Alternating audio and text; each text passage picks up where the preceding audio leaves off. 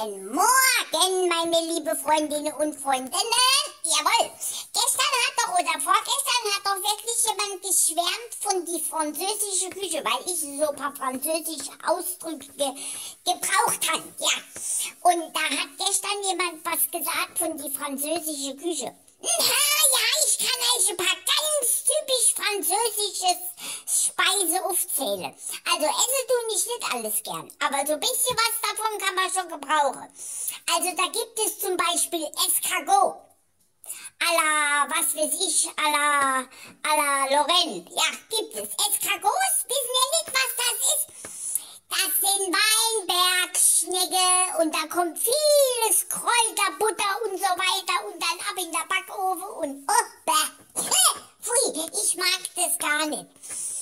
Aber dann gibt es was anderes, das ist Kokova, das hechtes Huhn im Wein. ja, das Hühnchen ist in den Wein gelegt und wird da gemacht und getan. Das, das Huhn, das, das fresse ich auch, ja. Und dann gibt es Lorraine. Ja, Fisch gibt's. Quiche ist Flammeskuchen. Flammeskuchen ist Quiche und Lorraine ist Flammeskuchen mit mit äh, so Rahm und, und Speck und, und äh, so ganz dünnes Teig, so Blätterteig-Dings, ja. Das ist Quiche Lorraine. Und es gibt, stell dir vor, Cassoulet.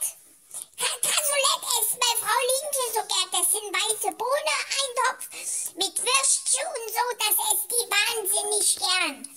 Und mein Herrsche, der isst viel lieber Bœuf Bourguignon. Das ist es. Rindesfleisch. Es ist ein ganz mageres Rindesfleisch, das ganz langsam in die Topf gemacht wird.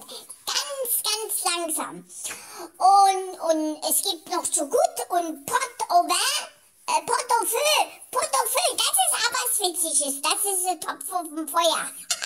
Ja, können wir essen. Topf auf dem Feuer. so, Freunde, das ist für heute die, die Französischstunde gewesen. Ich wünsche euch jetzt bon Appetit, wenn ihr gekocht habt und schon was essen könnt. Ne? Und wünsche euch noch einen schönen Tag. Und tschüss, euer... Jetzt hungriger Mogli mit die weiße Socke.